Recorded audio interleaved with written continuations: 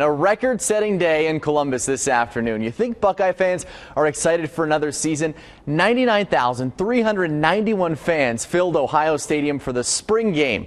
That's the most ever for a spring game in the country. No Braxton Miller, no JT Barrett. Both were limited this spring. Only one fully healthy at this point, Cardale Jones. And with the departure of Devin Smith and Evan Spencer at wideout, this an encouraging sign for the Bucks.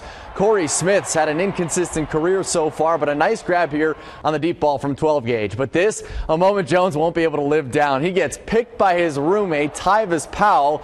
And then at least at the end, Jones gets a good shot in there on the tackle. But then look at this. Powell will get up and fake a little selfie with him. You'll hear from Powell in a moment.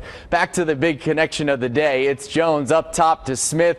He caught six passes for 174 yards and two touchdowns from Jones for the Gray squad, including the game winner as Gray wins 17 14. And afterwards, Urban Meyer on the spring game.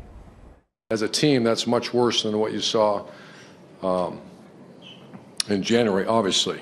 Uh, but we did individually get better. I'm looking at Cardale and he look at Nick, and I say to myself, I know he know that I know what he doing, but he threw it anyway. Like I guess he just, you know, I felt disrespected when he threw it anyway.